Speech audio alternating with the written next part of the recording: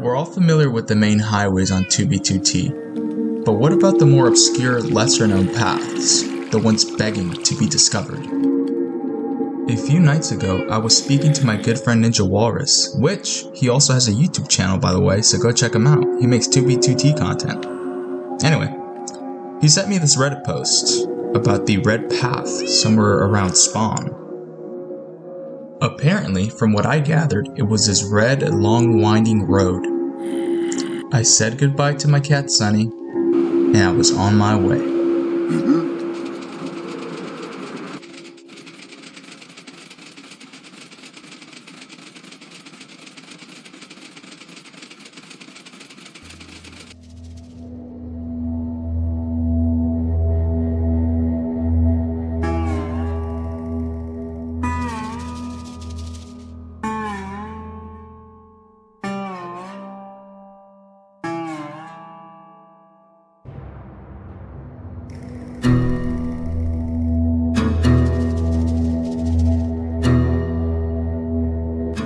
So we're at the red path now, and immediately there's already some wither action going on. I don't think it sees us though, so we should be straight.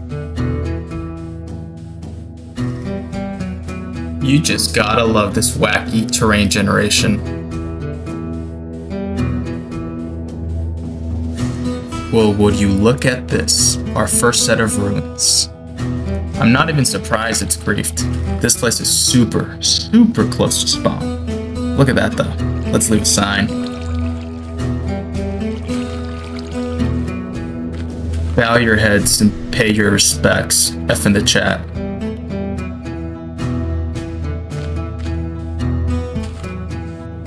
I speculate this part of the path has been decimated by withers. Fucking nuisance.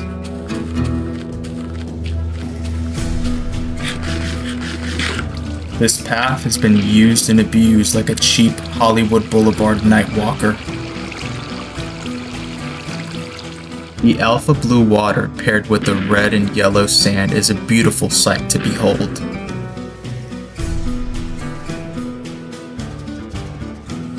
A house.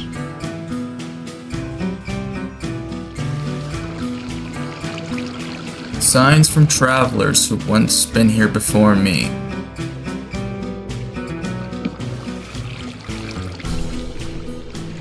No time to dwell on people long gone. Let's get a move on. Not much is known about the Red Path other than it was made by a player that goes by the name of Anakin underscore 90. I tried looking for this person across Discord, and 2B2T of course, but to no avail. Now here we got a platform of sorts. Might have been a rest stop at one point, feeding uh, the hunger players of 2B2T. I've always been a fan of paths cutting underneath mountains.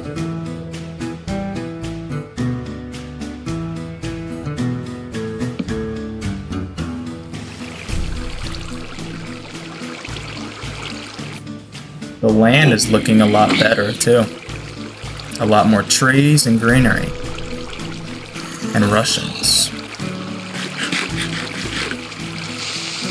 Don't you just love creepers? Let's get out of this godforsaken farm. The sign reads, Don't go in there, it's a fucking maze.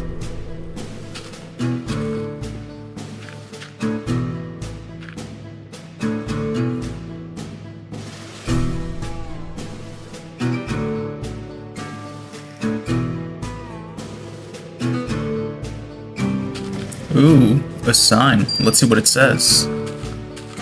Minecraft porn, smiley face. 2B2T players have such a beautiful way with words. This road we call the Red Path seems to be very, very windy. I wonder where it's leading us.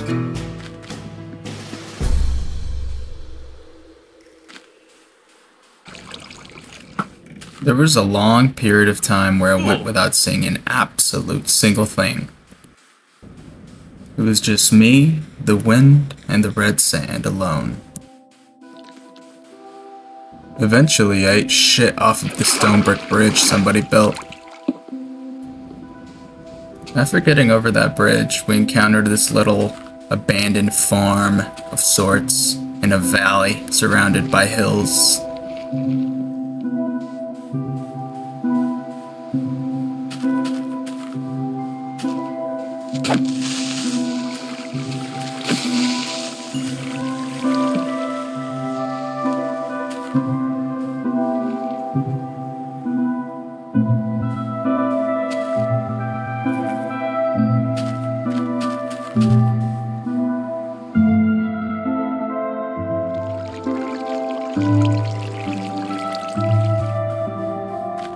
So far, this is a path like no other I've traveled before. Its long, windy roads, red sand, and the mystery of not knowing where it leads to makes for a very interesting experience.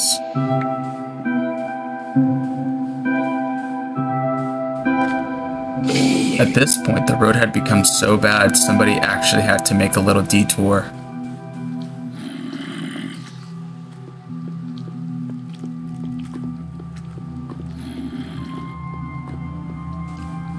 That horse seems like it might come in handy. I'm surprised we haven't encountered Cody Smile 11 yet.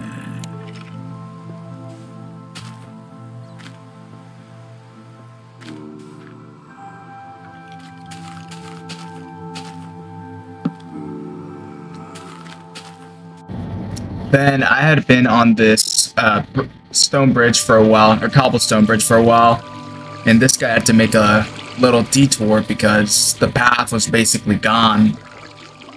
Completely gone. If it wasn't for this little detour, I would have thought the road had ended here, to be honest.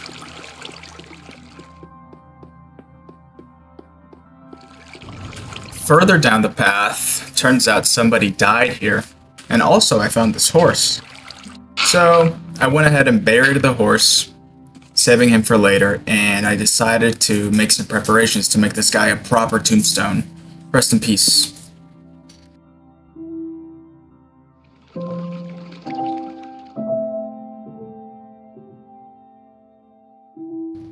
With that said and done, it was time to continue our journey with our newfound friend, Skippy.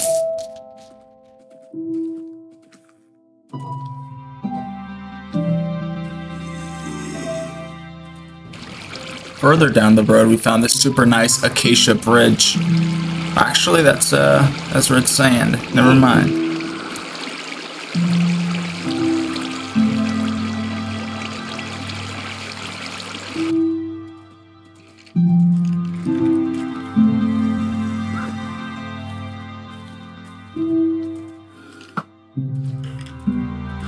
Ooh, an abandoned melon farm.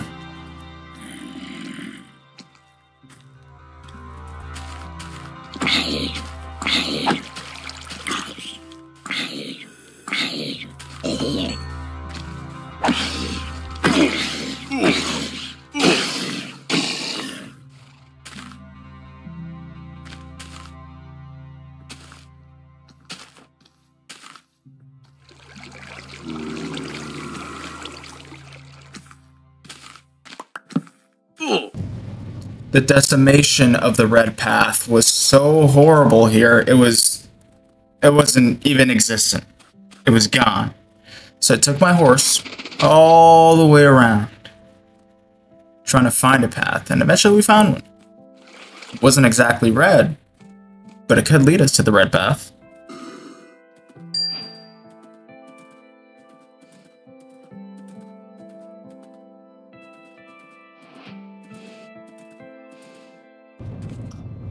Looks like we've hit a mine of sorts. I wonder if my trusty horse can fit through here.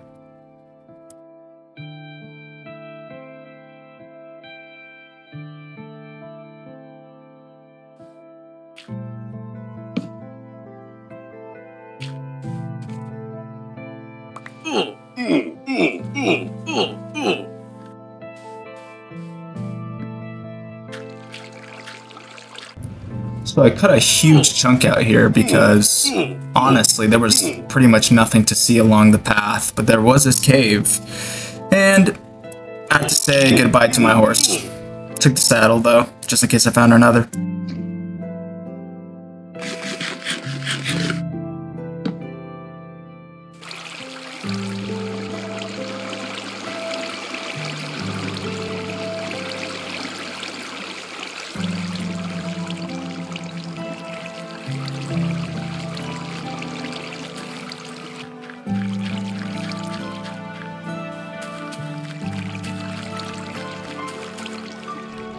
And we have reached the end of the red path.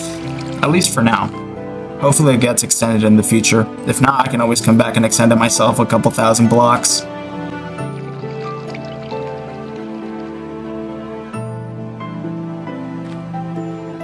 Ended up climbing on a tree and watching the sunrise.